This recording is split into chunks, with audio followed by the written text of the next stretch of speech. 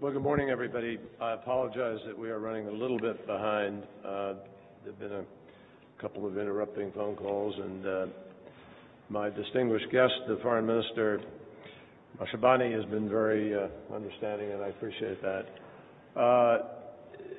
I'm very, very pleased to welcome Foreign Minister Nkoana Mashabane back to Washington and her delegation for the strategic dialogue between the United States and South Africa.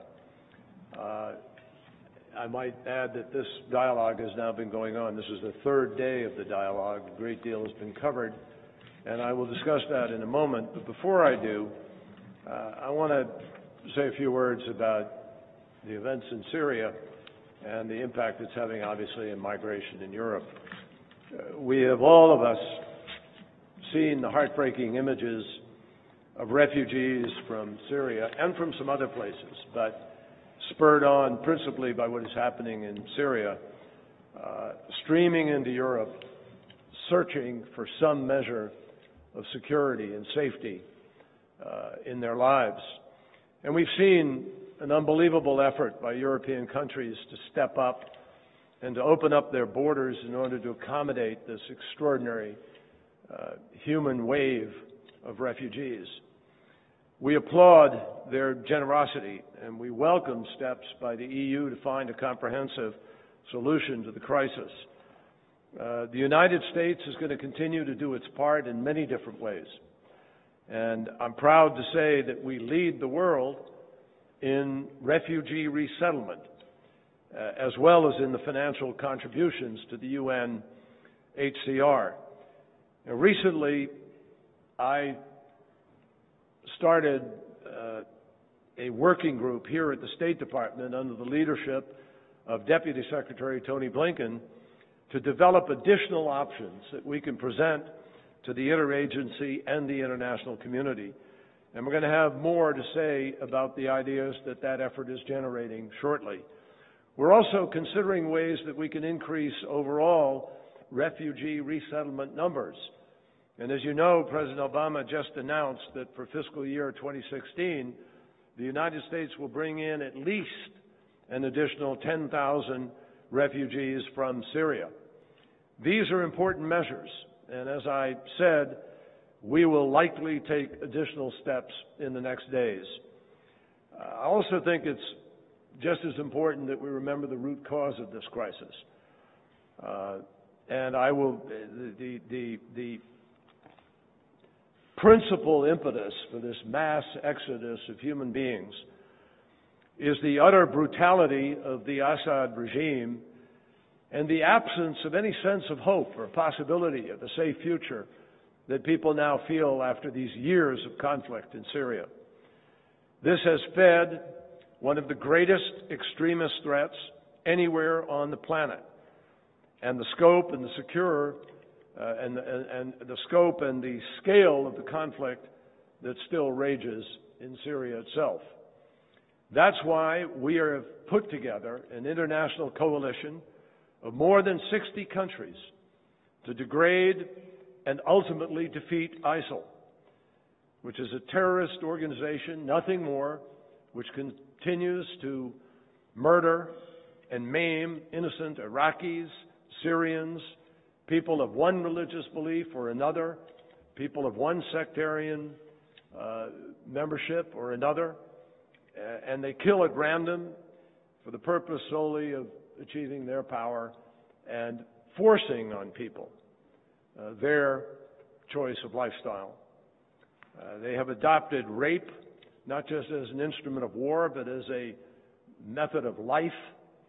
Uh, they have cut off heads at random, shot people in the back of the head, destroyed cultural and historical sites, and clearly uh, have uh, uh demonstrated a ruthlessness, uh, a level of depravity that is shocking to everybody.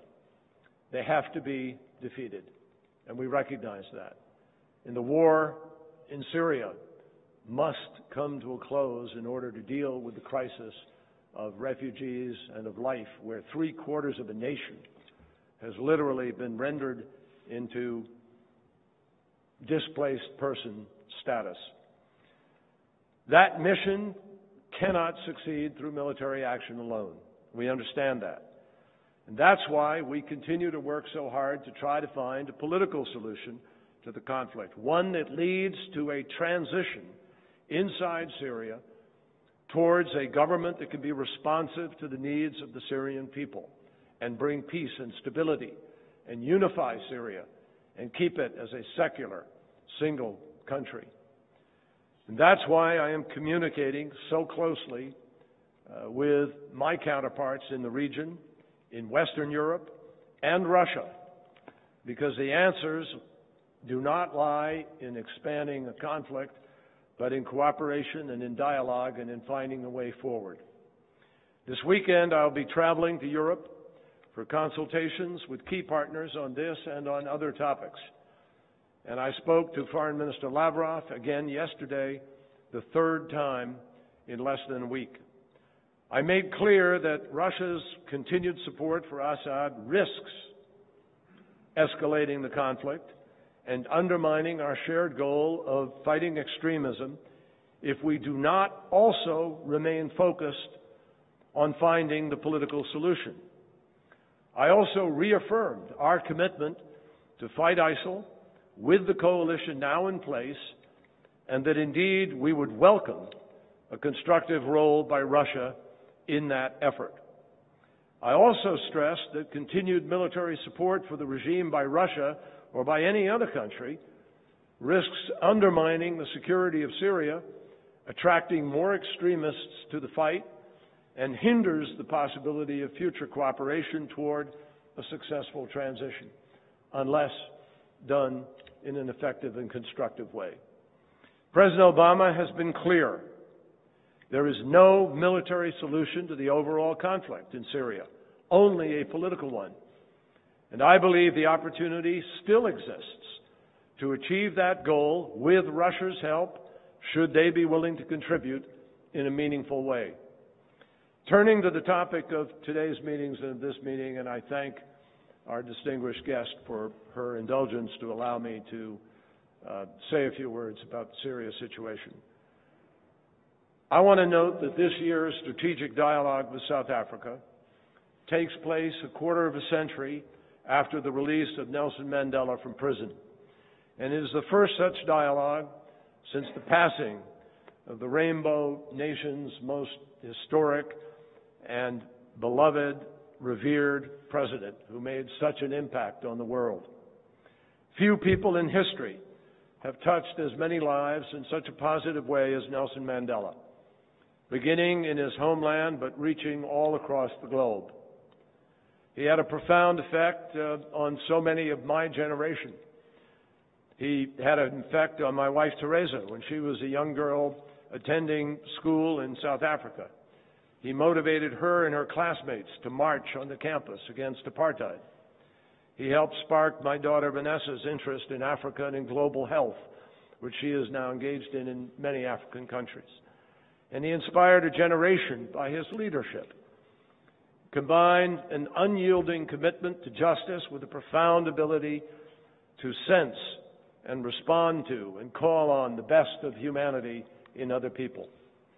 Mandela is gone, but his legacy remains as a challenge to all of us as we aspire to show or to try to show the same wisdom, the same loyalty to truth, and the same willingness to work together to build shared prosperity to solve problems without violence and to protect the rights and the dignity of citizens. It's with that spirit before us that we held our bilateral meetings over the last three days, and we had a lot to discuss. Events in Africa and the Middle East present us, all of us, but particularly South Africa, which has taken such an important leadership role in these years, they present us with a full plate of challenges. So it helps that we come to the table as partners and as friends. Over the last three days, our working groups focused on three areas in particular on regional security, trade and investment, and public health. On security, our countries are united in the desire to see a greater stability and peace throughout Africa. President Zuma and Deputy President Ramaphosa have shown real leadership in helping the parties in Lesotho to break their political deadlock and carry out elections. In South Sudan, the United States and South Africa are both strong supporters of the recent peace agreement, but we also know how fragile that agreement is. The world is watching to see if South Sudan's leaders finally make good on the promises that they have made to put down the guns, allow more assistance to reach their people, and enable the restoration of a functioning political system. South Sudan has a great deal to learn from South Africa's experience with justice and reconciliation. Across the continent, South Africa is a significant contributor to the UN and regional peacekeeping operations, a topic that will be a major focus of attention at the UN General Assembly session in New York later this month. The foreign minister and I also discussed our growing economic ties. Each year, more than $20 billion in goods and services flow between our two countries. The number of American companies operating in South Africa has reached 600. Facebook, Google, and Starbucks among them, with a total local employment of more than 100,000 people. So more and more, our partnership is driving shared prosperity in the region, and that's a trend that could really gather added momentum from a recent 10-year extension of the Africa Growth and Opportunity Act. AGOA, as it's called, was based on the idea that trade preferences would make possible a dramatic increase in economic engagement between the United States and countries across Africa, and that this would lead to a host of benefits, new jobs, training programs, incentives for education and innovation, greater opportunities for women, and African economies that ultimately were more economically competitive and diverse. The United States is really pleased that South Africa has seized the opportunity to export high quality goods tariff free to the United States. And in our discussions today, we talked about the need for improved access for U.S. exports of chicken, beef, and pork in order for South Africa to be able to best benefit fully from AGOA's generous trade preferences. That's the very definition of fair trade that would best serve the interests of all, including South African consumers. We're also moving forward on energy security, and we discussed that this morning, and diversification. South Africa's government deserves credit for promoting renewable sources of energy and seeking to diversify electrical, electric, electricity production. And we're proud that the U.S. companies such as First Solar and SunEdison are leading the change on wind and solar. Thanks to the contracts that they've signed, the United States has become the leading investor in clean energy in South Africa. A third focus of our dialogue concerned public health. Through the President's Emergency Plan for AIDS Relief, or PEPFAR as it is known, we have invested more than 4.3 billion to fight HIV AIDS in South Africa. Together, we have saved millions of lives. And in coming years, South Africa will be the first country in the region to fully manage the care and treatment program on its own. That's a significant milestone. This is a vital transformation, but we all understand that our work is really far from finished. In South Africa, young women are four times as likely as men to become infected in HIV. And we know that these infections are preventable.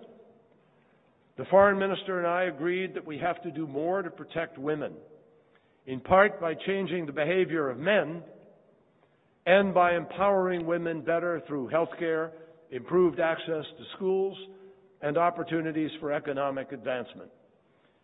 Of course, economic, social, and health initiatives don't operate in a vacuum.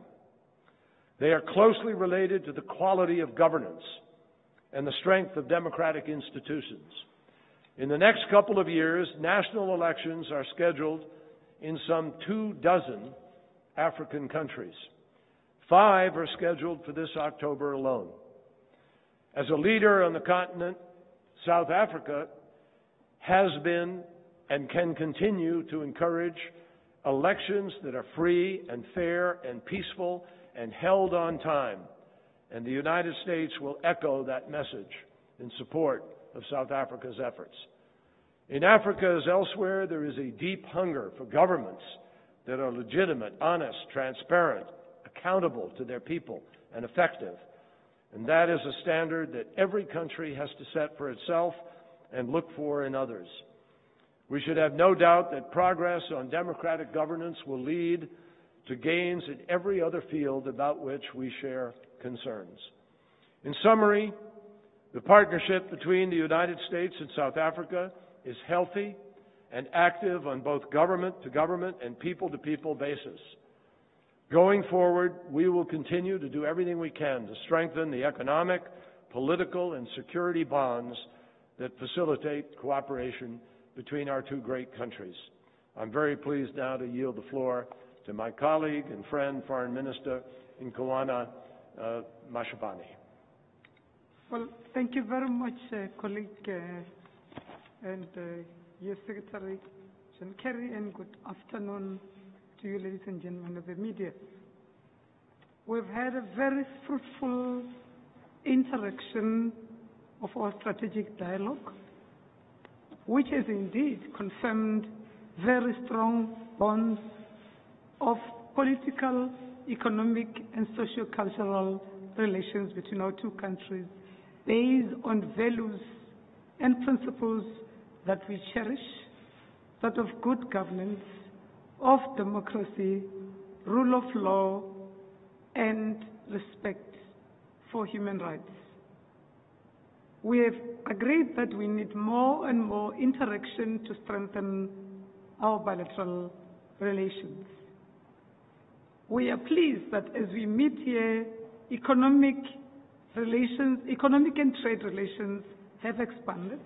And I want to agree with Secretary Kerry that indeed uh, more than 600 uh, American companies are operating happily in South Africa and are also complying to the rules and regulations as espoused in our constitution. We've got very strong uh, cooperation in the field of science and technology, which enhances knowledge-based and ICT relations. We are happy with other areas of engagement in public health that includes PEPFAR and education, and we think this will take us a long way. This uh, engagement that comes through health and PEPFAR not only benefits South Africans, but also many other Africans who find themselves in our countries. We've also spent time discussing relations on the multilateral forum. South Africa believes, as we do, in the values that our uh, founding father and the first president of South Africa referred to that we are a multilateralist uh, country. So we look forward to further engagement with other countries as we chair G77 and China to a very, very uh, successful COP21, working together with all other countries, including the US. We are happy that South Africa is back and has been confirmed to be the beneficiary or continue to be the beneficiary of AGOA, and all thanks to uh, the government here and Congress and all other role players uh, on keeping South Africa on AGOA for the next coming Eh, 10 years. South Africa, as the most advanced economy, is able to export more than 98% of beneficiated goods and services through this program to the U.S. We are also pleased that the U.S. remains, USA remains the largest foreign direct investment in our country. The working groups have also agreed on establishment of an energy cooperation group, which should also be looking at all areas that uh, uh, Secretary Kerry had referred to. As we speak now here, Um, the Secretary for Commerce, Mr. Marcus Jadotte, is currently in South Africa, leading a trade mission of more than 80 U.S. companies interested uh, in trade and investment opportunities in our country with a mission that is referred to as Trade Winds Africa 2015. We welcome the re-establishment of uh, diplomatic relations between your good self, uh, Secretary Kerry, and our friends in Cuba. That has been long overdue. And we really would want to pledge that we will be standing by to give support so that even the trade embargo is removed. I would want to uh, confirm that we are a country that champions diplomacy of Ubuntu. Ubuntu simply means I am because you are. We champion cooperation and collaboration against competition. This is one of the values we share. We also know that peace, security, and development are intertwined. We know that there's no way South Africans can sleep ease at night if the neighborhood is on fire.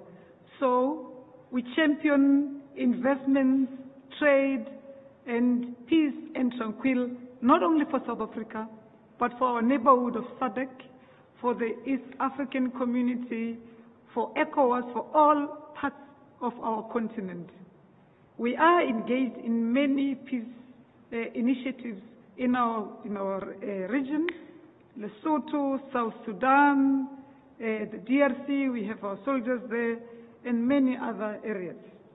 We are looking forward to a debate also as we go to the UN General Assembly, the 70th anniversary of the UN, to check if indeed the world has become more peaceful and secure or has become more insecure 70 years on after the formation of the UN.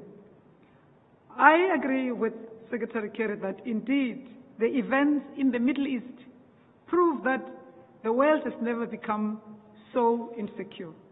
I also agree that military solutions are not the answer, that we cannot solve political problems through um, military means.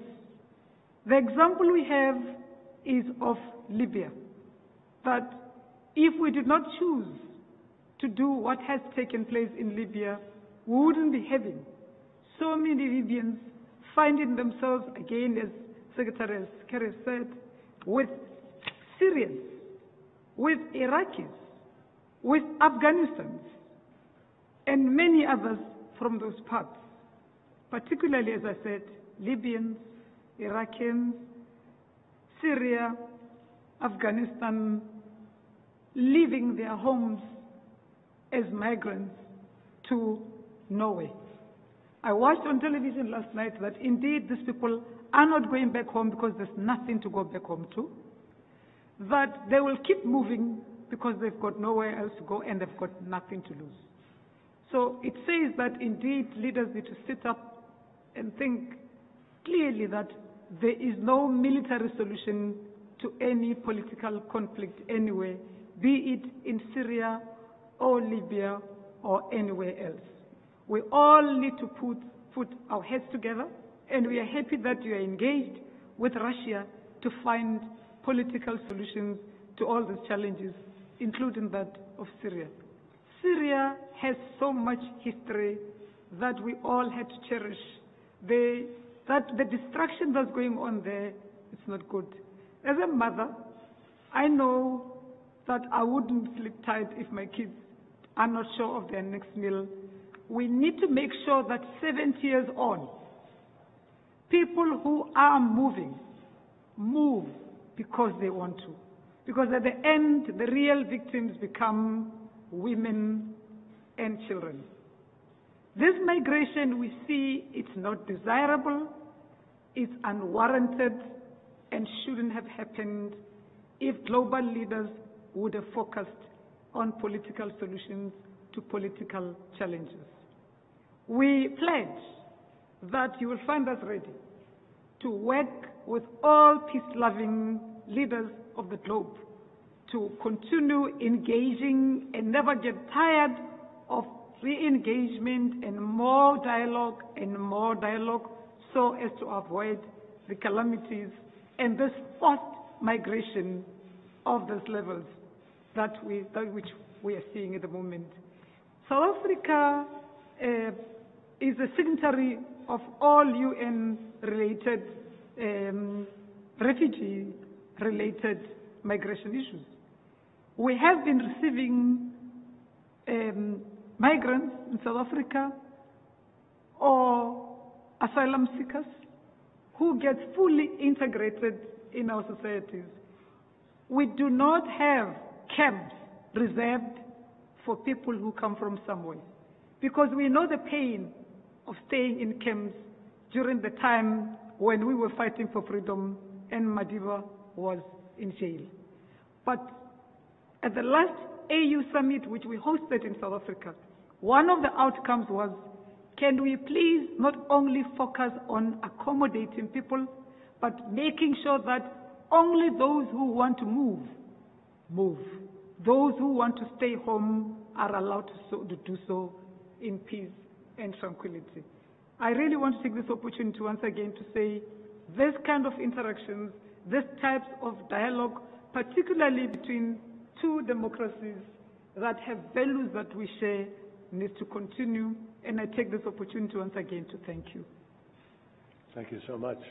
Our first question today come from Elise Labott, CNN. Thank you.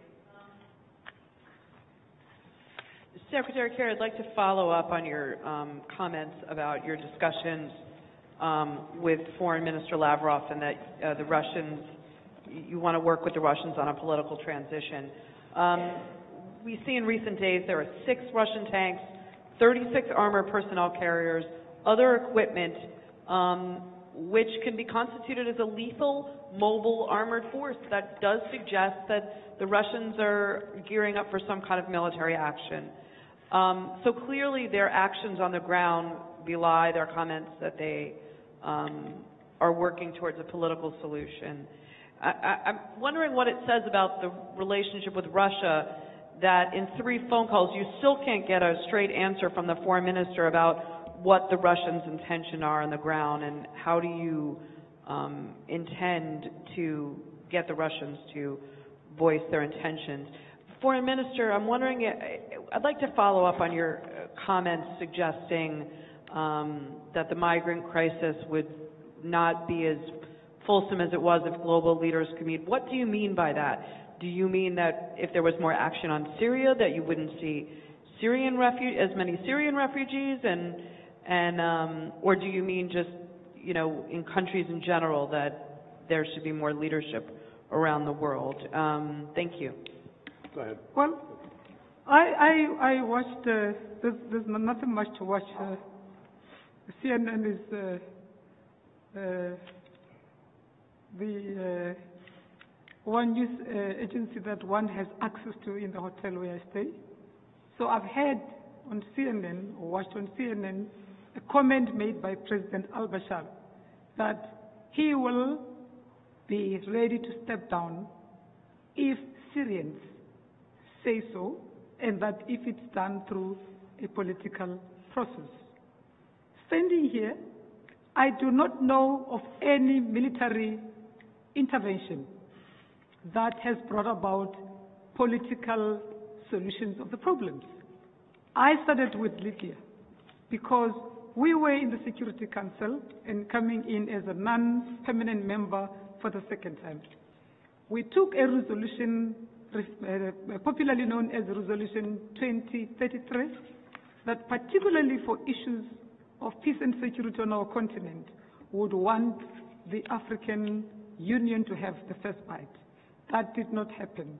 Bombardment of Libya happened, and what we do have at the moment is there's no, as much as we recognize one sector of that which referred to as, as government, reality is Libya is in turmoil, and risks becoming a failed state. So, if indeed that which you are referring to in Syria, of other countries wanting to come in with tankers and other things. It means that the end is not near if, in particular, Russia, the USA, who are members, permanent members of the Security Council, are not talking more and more political solutions. We will not see the end to this.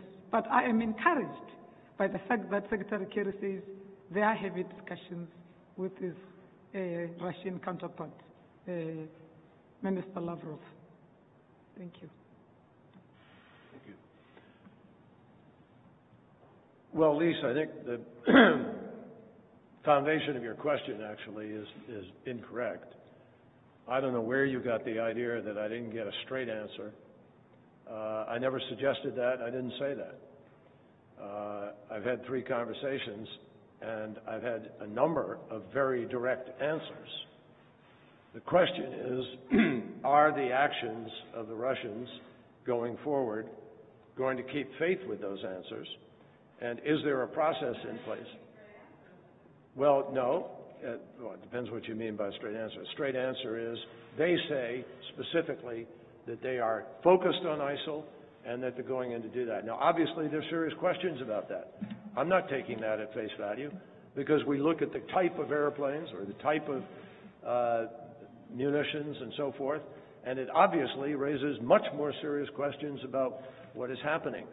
But the Russians proposed in the conversation I had today and the last conversation specifically that we have military to military conversation and meeting in order to discuss the issue of precisely what will be done to deconflict with respect to any potential uh, uh, risks that might be run and to have a complete and clear understanding as to the road ahead and what the intentions are. So words will not answer all of the questions here. It's actions. And it's what will be determined going forward in very specific ways, but you have to have a conversation in order to be able to do that. And it is vital to avoid uh, misunderstandings, miscalculations, not to put ourselves in a predicament where we're supposing something and the supposition is wrong. So I think you have to, in this kind of uh, situation, make sure that you're dealing with uh, reality, and that's only going to happen through the kinds of discussions that have been proposed. So we are currently evaluating. The White House, uh, the Defense Department, the State Department are discussing the next steps in order to determine the best way forward in order to uh, have a clarity about this road ahead. It is also true that if Russia is only focused on ISIL, and if there is a capacity for cooperation, as I discussed a moment ago, that there still is a way forward to try to get to a political negotiation and outcome. And in the conduct of great nations, particularly nations with enormous power, it is important to make sure you thoroughly uh, explore those possibilities and uh, don't come to a rash conclusion uh, that's based on uh, erroneous judgment. So we're going to do that, and we're proceeding down the road to make uh, uh, to fully understand and to make clear our concerns and our limits. I might add that uh, one of the conversations I had this morning was with Prime Minister Netanyahu. I think it is public knowledge that he has announced he's traveling to Moscow. He will be having a discussion uh, directly with President Putin in order to underscore the concerns that Israel shares, that we share, that other countries in the region share about not mistakenly winding up actually making things worse rather than better and attracting more terrorists rather than defeating terrorists. So all of these concerns need to be uh, thoroughly discussed as they will be in the days ahead and I'm confident that uh, uh, there still is a path here for a diplomatic solution. And I think, given the fact that everybody says there is no military solution, and given the fact that everybody says they are committed to a political resolution, the challenge now is to make good on those statements. And that's what I will be exploring with my counterparts in Europe uh, this weekend and every day in the work that we do here in the State Department. Mm, The next question is from Kate Fisher, CCTV. Hello, thank you. Um, two U.S. senators have just written to President Zuma. Can you put it- Hello? Yeah, Hello? Sorry. close. Um, two U.S. senators have just written to President Zuma to ask him to resolve the remaining issues that are blocking U.S. poultry exports into South Africa. I, I don't know if you're having as much trouble. Can you- I I, I. I, I have the same trouble. Yeah. I can't Could, could we, So like that? Sorry. Hello, is that better? much better. Um, two, two U.S. senators have just written to President Zuma to, res, uh, to ask him to resolve the remaining issues that are blocking um, U.S. poultry exports into South Africa. Can you reassure him uh, that that will happen before the end of the year, which was what was agreed in the agreement that was struck in Paris earlier this summer? Well, the, if you're referring to the same uh, letters that I know of, one of them came from uh, Senator Coons. Exactly then. Yes. Um, we, we responded to that through our negotiators of AGOA between the two uh, governments. And the conclusion came, that which we are now referring to, after all concerned groups' uh, uh, issues have been taken into consideration, including that of, of South Africans, not just of the senators this side, because this is about partnership. So where we are now, we know that there was a meeting about a day ago in South Africa, and I've seen the minutes which are taking us forward, and the 65,000 tonnage of chicken portions, boned chicken portions that were, that uh, were to uh, be exported to South Africa has already also been uh, attended to and agreed to. So they will be allowed in before the end of the year? It's a, it's a, it's a done deal. I just mentioned, from our point of view, uh, this is the cornerstone of our trade relationship, and we believe very, very strongly in AGOA. As everybody knows, uh, the current bill that passed the Senate for the renewal of it uh, includes a review of the South Africa eligibility issue, and the House of Representatives, we're waiting for action from them. Uh, We have had a discussion about how important it is for South Africa itself to define the future road by responding to the concerns that have been expressed about U.S. exports. I'm confident the minister, as she said, is committed to that, and so um, we hope to proceed forward very smoothly. I just thought maybe I should have uh, emphasized that I agree with uh, Secretary Kerry that uh, ISIL is an enemy of all peace-loving democracies in the world, be it in the Middle East, U.S., or Africa. Extremism, extremism of any sort, that which even wishes to remedy red market countries, need to be fought with all we have. But above all, we need to win the hearts and minds of our people, not to join these extremist groups. So there we speak with one voice. Next question will be from uh, Brad Klapper from the Associated Press. Yes, thank you. I have a question for both of you as well. Uh, First, Madam Secretary, uh, Madam Foreign Minister, um, picking up on your comments on Libya, can I just ask you straight out, do you think it was wrong for Western and Arab countries to have intervened militarily and overthrown Muammar Gaddafi's regime? And also, since you stressed that uh, political solutions are necessary in all disputes, or so it seemed, could I elicit your views on how you think a political solution might work with the Islamic State or Boko Haram, for example? Um, Mr. Secretary, uh, given the threat of a new nuclear, uh, North Korean rocket and nuclear tests, how do you engage Pyongyang at a time when you are also warning Iran of severe consequences if it violates its nuclear commitments.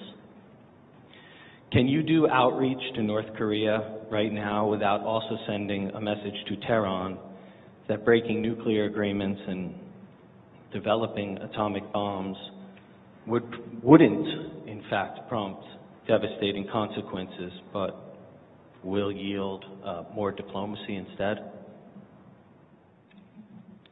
Well, let me start with Libya. We all had a discussion, as I said. We were serving as non-permanent member of the Security Council at that time, and that the African Union presented a roadmap, an AU roadmap to a political solution to Libya. And the arrangement thereof was also about how the late Gaddafi was prepared to step aside at that time for them to form a government of national unity. I think the interpretation of responsibility to protect civilians brought about that which is now history. And I don't think there was a clear plan that beyond that, what is it that was going to come in and take place? And it's almost more than five or six years since, and Libya is still a mess. So we believe that should we have followed the AU roadmap, which was very much part of Resolution 1973, that which we also supported and adopted, maybe things would have been different. This is not the time for blame, uh, uh, blame game, but it's the time to say, what do we do now? Because Libyans just want to carry on with their lives, and they want a stable government that would unite them. I do not see the comparison between what has happened in Libya with Boko Haram. Boko Haram should be fought, and we all agree, because it is an extremist group that seeks to unseat a democratically elected government.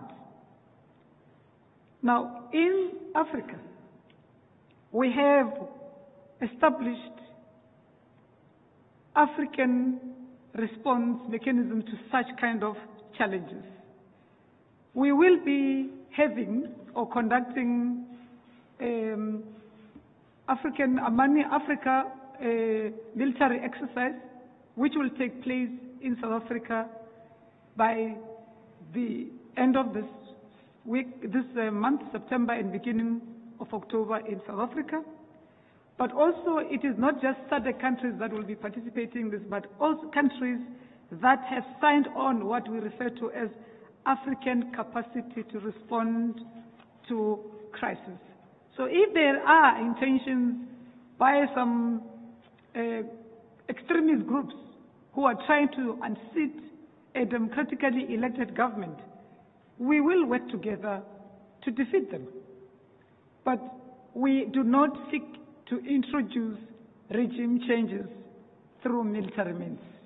That's what I referred to earlier on. And that's what I was saying. It's important that we work together to resolve political problems politically. Thank you.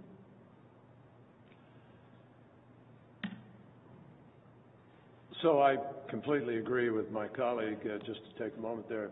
There is no negotiation with ISIL, none whatsoever. And I think everybody agrees on that. Uh, And that is why more than 60 nations have come together to defeat it, to destroy it. And I'm convinced ultimately that will happen. With respect to the North Korea nuclear program um, uh, and Iran, Iran made a fundamental decision that they wanted to change their direction, end their isolation with the world, and that that was more important than pursuing a nuclear weapons program. The North Korean government has not made that decision. And the same policy about prevention of having a nuclear weapon, denuclearizing, remains the policy of the United States. There's no difference. And there will be severe consequences as we go forward if Iran, if, if uh, North Korea does not refrain from its irresponsible provocations that aggravate regional concerns, make the region less safe, and uh, refuse, uh, if it refuses to live up to its international obligations. Uh, Our position is clear. We will not accept a DPRK, North Korea, as a nuclear weapons state, just as we said that about Iran. Now, Iran made a different decision. Kim Jong-un and North Korea have not made that decision. And so we, together with our six-party, with our other allies in the six-party effort and others in the world, will continue to put pressure on North Korea in order to get them to come to a place where they understand that their people and their country can never move forward until they have lived up to their international obligations. It's that simple. And it was sanctions broadly applied and accepted that helped Iran to make an important decision. Uh, it may take more than sanctions with respect to North Korea because of its almost total absence of a legitimate economy.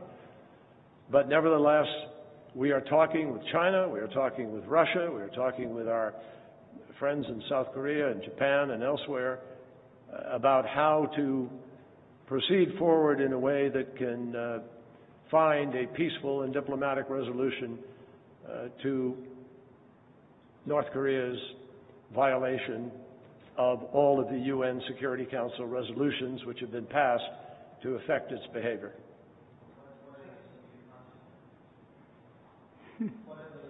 Well, they're, they're, they're, they're incrementally being applied at this time, Brad. I mean, they're already, China, for instance, has taken serious steps in the last uh, year, uh, year and a half, since we engaged China on this subject, uh, specifically to encourage them to do more, and they have. They've taken trade steps.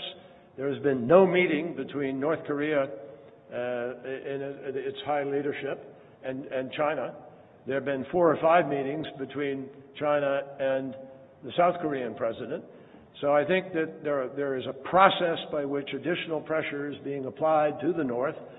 Uh, and obviously, um, I think uh, we've already had discussions about the potential of what may have to now be done if indeed uh, the DPRK's media reports uh, and others prove to be true regarding their nuclear facilities at Yongbyon and the plutonium production reactor uh, facility uh, uh, also near Yongbyon. So uh, we will see what evolves. But I am convinced, I spoke again, this was one of the topics, by the way, in the conversation with Lavrov.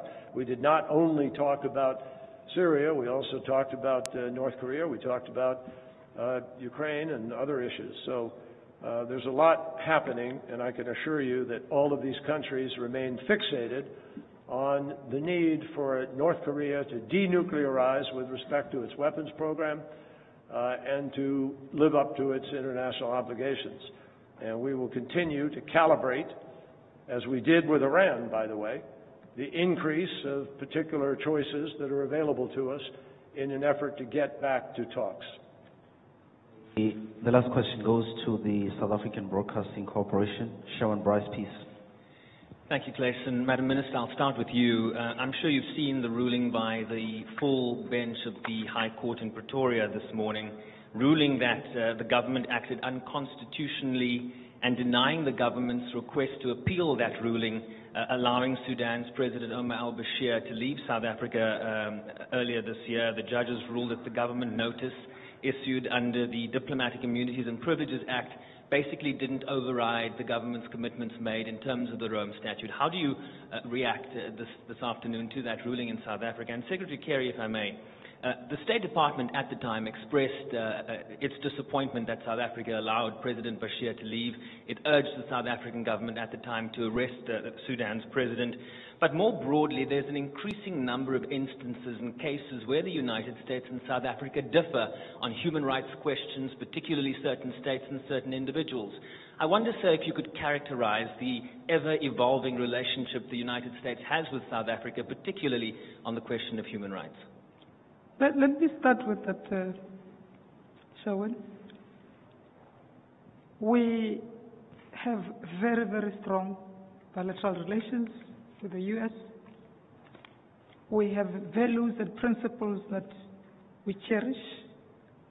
We also have a responsibility to support peace and security, which augurs well for development in the African continent and beyond. These are some of the values we share. The United States of America is not a member of the ICC. We are. So, specifically on the issue of the case you are referring to, the government is busy studying the outcome and we definitely would take the matter up at the appropriate time. Let me also just say that uh, we both have, ourselves and the United States, embassies operating in Khartoum because we have other responsibilities to work with them together with the South Sudan, the nascent state, state for it to achieve stability and move forward in a more secure and developmental manner. Well, let me say, look, uh, no, no two countries in the world, even uh, those that are linked together in more defined and longer term serving mutual security agreements, other kinds of agreements, are going to agree on everything, on every single instance of every case. Uh, and there are some differences. We are not a signatory. Uh, we are not uh, a member of the uh, ICC. Some countries hold that against us, uh, and others understand why that position has been taken by us. But it doesn't diminish our mutual commitment to the rights of people to express themselves, to be free from unlawful imprisonment, to be tortured, to all these other things. We may have a difference in also in terms of a particular leader of a country's status with respect to issues that are more immediate and uh, to how one country perceives they need to deal with that particular person and that country versus the options that are available to us uh, across the Atlantic Ocean, far away from the continent, living in a different uh, uh, set of choices. So I don't think either of us get particularly alarmed about the reality of some of these kinds of differences that exist in many, many different places.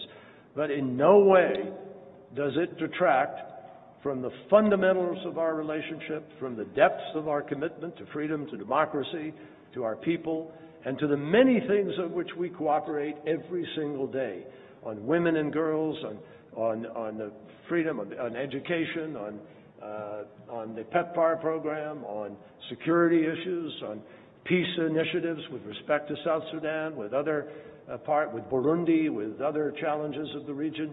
Uh, you know, that's the mark of mature nations, and I think uh, South Africa is exercising important leadership. We disagree here and there on a particular choice or another, but we're going to find a way to mm-hmm. continue to see this relationship grow and blossom in its importance, and we respect and need South Africa's leadership on the continent and in the world.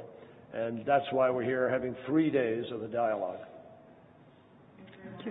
Please, press conference. Thank you so much. All right.